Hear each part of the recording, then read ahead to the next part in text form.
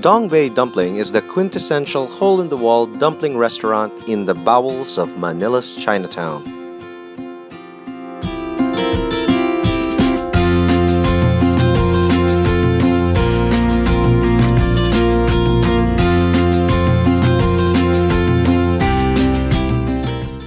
It was opened in 2004 and is famous for its affordable yet tasty Beijing-style dumplings.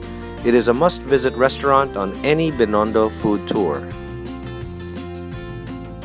For the size of the restaurant, they are quite busy, selling more than 500 dumplings per day.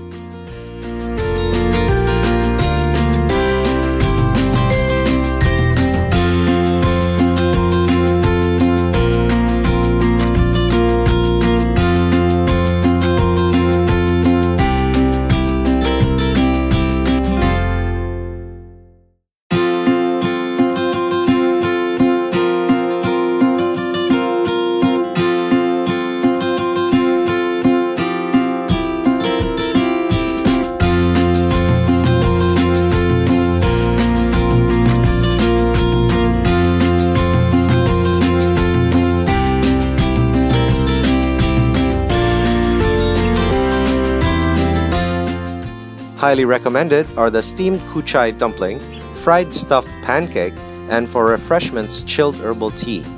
Their xiaolongbao has a wrapper that is quite thick, so the meat and soup to flour ratio was less than what we are used to.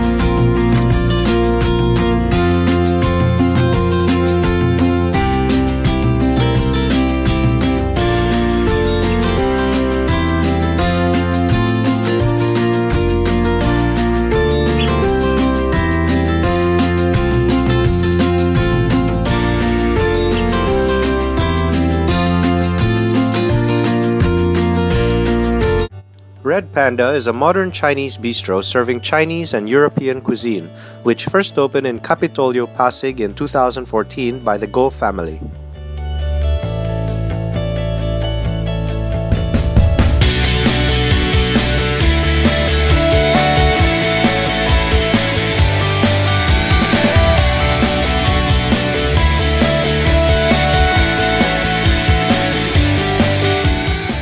They have